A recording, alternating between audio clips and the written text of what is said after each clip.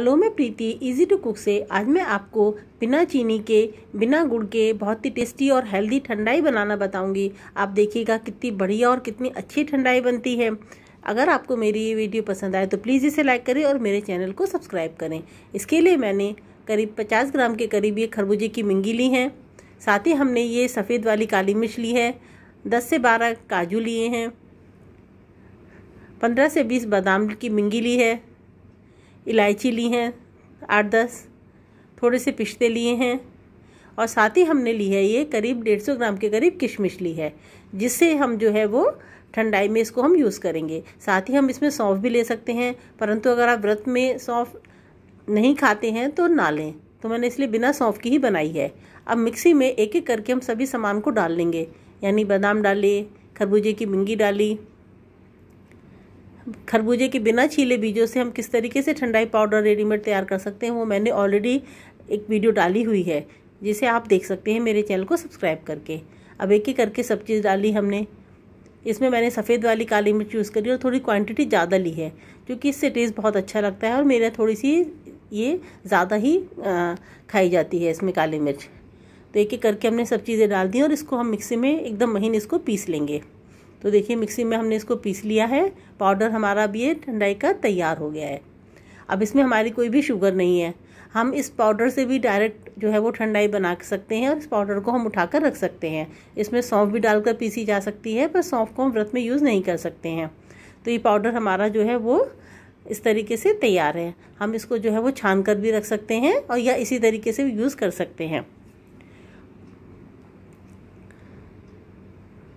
अब जो है, इसी मिक्सी में हम जो है, ये किशमिश लेंगे। और किशमिश को हमें जो है, वो थोड़ा सा इसमें हम पानी डालेंगे। पानी डालने के बाद इसको हम इसका अच्छा सा पेस्ट बना लेंगे। यानी हम इसको एकदम से महीन पीसना है।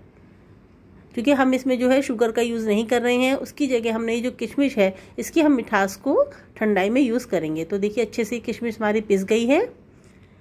अब इसको हम एक कढ़ाई में ले लेंगे। सारा जो हमारा पेस्ट है, इसको हम कढ़ाई में ले लेंगे। और अगर आपको थोड़ा सा इसमें ये बहुत ही एकदम लाइट या स्वीटिश आपकी ठंडाई बनेगी। इसको पानी को धोकर थोड़ा सा डाल दिया। अब इसको हम धीमी धीमी गैस पर इसके हम जो है वो थोड़ी चाशनी बनाएँगे।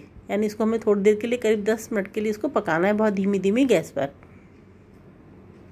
इधर जो हमारे पाउडर था, ये थोड़ा सा इसको मैं छान लेती हूँ। देखिए, इस तरीके से आराम से छन जाता है। और जो इसका थोड़ा थोड़ा ये जो आपका, देखिए, इतना बचा हुआ है हमारा, इसको भी आप दोबारा से भिगो सकते हैं और इसको यूज़ किया जा सकता है। ये पाउडर जो है, इसको हमने अलग, इसको किसी भी शीशे में भर के रख सकते हैं। अब देखिए, इस तरीके से हम धीमी धीमी गैस पर जो है, वो इसको पकाएँगे। तो इस तरीके से जो हमारी ठंडाई बनेगी हमारी, इसको आप आराम से पंद्रह से बीस दिन के लिए फ्रिज में रखकर इसको यूज़ कर सकते हैं। और जब आपको ठंडाई जो है वो पीनी हो तो तुरंत आप एक चम्मच इसमें पेस्ट लीजिए और इसको दूध में घोल कर आप यूज़ कर सकते हैं। अब इसको हमने, जब हमारी चाशनी बन गई है, दस मिनट पकाएँगे उसका ठंडा होने के बाद हम इसमें जो है वो पाउडर को मिला देंगे, जो हमने छान कर तैयार किया था। इसको हम अच्छे से बिल्कुल ठंडा होने देंगे। अब इसमें मैंने थोड़ी सी केसर डाली है। ये पाउडर केसर है इस तरह की शीशी बहुत आराम से बाज़ार में मिल जाती है ताकि बहुत अच्छा एक कलर भी देगी और फ्लेवर बहुत अच्छा आएगा। तो मैंने इसमें जो है वो पाउडर वाली केसर डाली है। तो देखिए कितना बढ़िया सा इसका रंग आ रहा है और जब एकदम से ठंडी हो जाएगी, तब हम इसको जो है वो एक कंटेनर में, एयरटाइट कंटेनर में भर कर रख देंगे। तो ये मैंने जार लिया है। एकदम सूखा ड्राई जार है हमारा।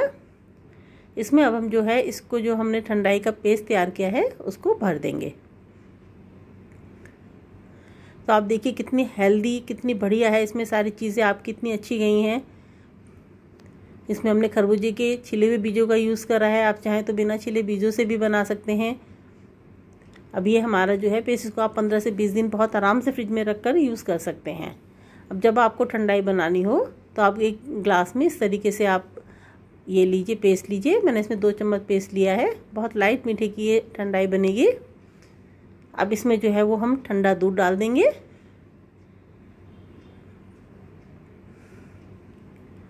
देखिए, इस तरीके से मैंने इसमें ठंडा दूध डाल दिया और उसको अच्छे से हम चला देंगे।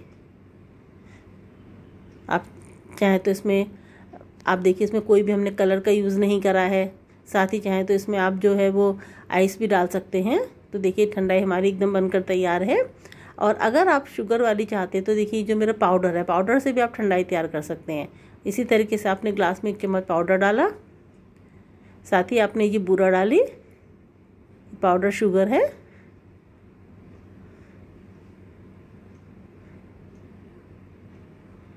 साथ ही इसमें अब जो है वो ठंडा हम दूध डाल देंगे। तो आप देखिए कितने आसान तरीके हैं हमारे लिए हम दो तरीके से ठंडाई जो है वो तैयार कर सकते हैं, क्योंकि रोज़ रोज़ पीसने की झंझट से हम इस तरीके से बच जाते हैं। और गर्मी में बहुत ही वो ठंडा टेस्ट देती है। तो अगर आपको मेरी वीडियो पसंद आए तो प्लीज़ इसे लाइक करें और इसी तरीके से नए नए देखने के लिए मेरे चैनल को सब्सक्राइब करें। हम इसी तरीके से नई नई रेसिपीज़ के साथ मिलते रहेंगे। Thank you